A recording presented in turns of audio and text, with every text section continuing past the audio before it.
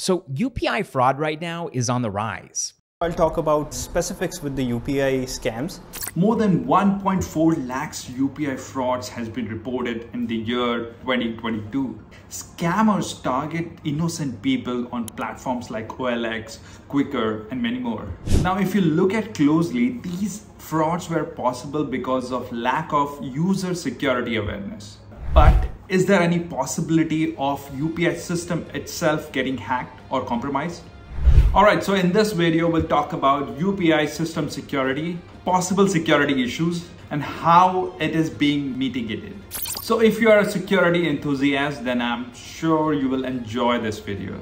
So stay till the end, and if you haven't subscribed the channel yet, do subscribe now. Prime Minister Modi says UPI is India's identity in the world now. But what is UPI and what makes it different? It is a real-time payment system. It powers you to connect multiple banks in a single app. It is maintained by NPCI, National Payment Corporation of India. Let's look at some history. It was launched in the year 2016 by Dr. Raghuram Rajan, former governor of India, who is currently professor at University of Chicago and sometimes found in India. It was not the first time that India came up with such payment standards or protocol. NFS launched in 2004, NEFT launched in 2005, RTGS was launched in 2004.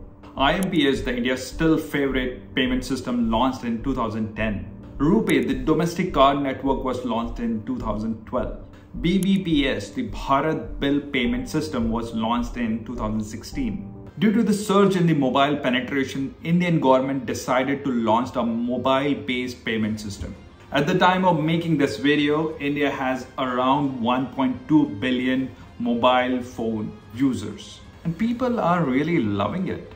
In December 2022, UPI touched its highest ever mark with 782 crores transaction worth rupees 12.8 lakhs crores.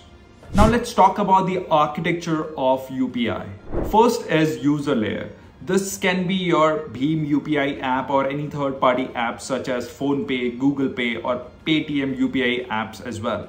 Next, we have bank layer. This is where we have all the different banks, including HDFC Bank, ICICI Bank, SBI Bank, Axis Bank, etc. Now, the payment wallets and bank infrastructure are collectively called as PSP, which is payment service providers. Finally, we have UPI layer. Now, UPI infrastructure basically works as a centralized database of users and their payment ID, their bank account details, their Aadhaar information, and UPI also perform routing of transactions. Now, there are some important points to note down. Both sender and receiver can be individuals, merchants, or any organizations. Now to perform transaction through UPI network, you need VPA, that's virtual payment address, or we normally call it as UPI address. NPCI maintains a central repository of all user VPA, name, bank details, Aadhaar, mobile number, etc. NPCI UPI talks to all the banks using API and these APIs are not openly available. Now bankers need to get approval from NPCI before integrating it with their mobile applications. UPI act as a DNS server of internet where it maintains the mapping of VPA of all customers with their respective bank account details. Now UPI ensures that the payer can send money to the pay without even knowing the actual bank account details. One bank can talk to another bank only through UPI network and this forced them to follow a standard interface and user experience. Now let's talk about possible cyber attacks on UPI system.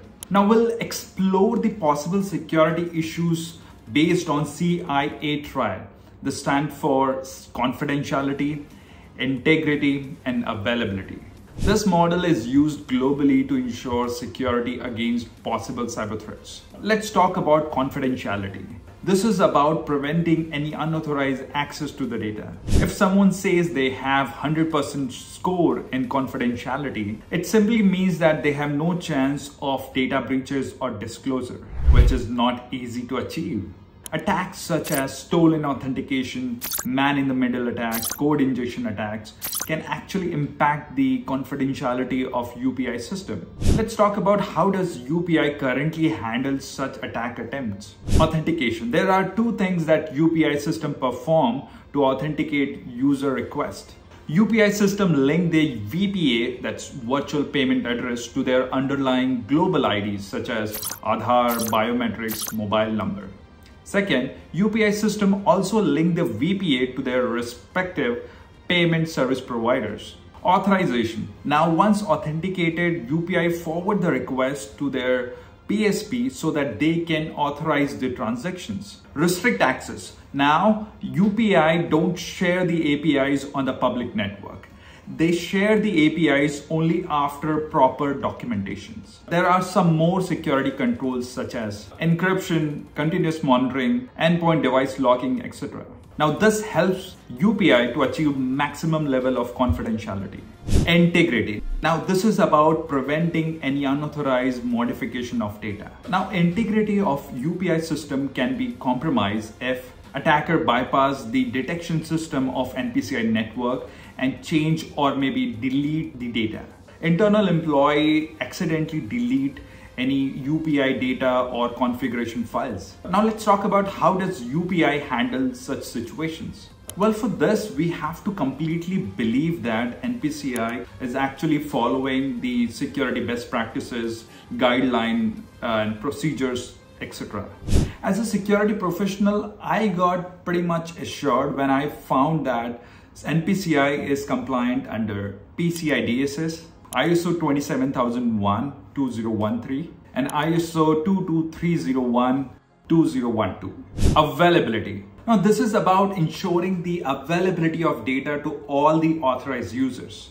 Availability of UPI system can be compromised by DDoS attack. Now these attack can flood the UPI infrastructure with fake requests to prevent any genuine users from performing any kind of transactions. Ransomware attack.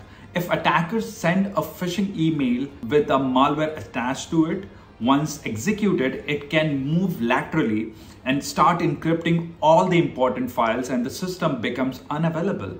In such attacks, hacker asks for ransom amounts usually in bitcoins. Now to understand the NPCI security infrastructure to mitigate such cyber attacks, I visited their official website and got to see almost everything needed to protect against such security incidents. All right, so that was huge. I tried covering every possible security factors in this video. Do let me know if I have missed anything. Finally, I can say one thing. NPCI is doing fabulous job in securing their UPI infrastructure. Let me know if you have any question. I would love to answer that. Thank you so much for watching.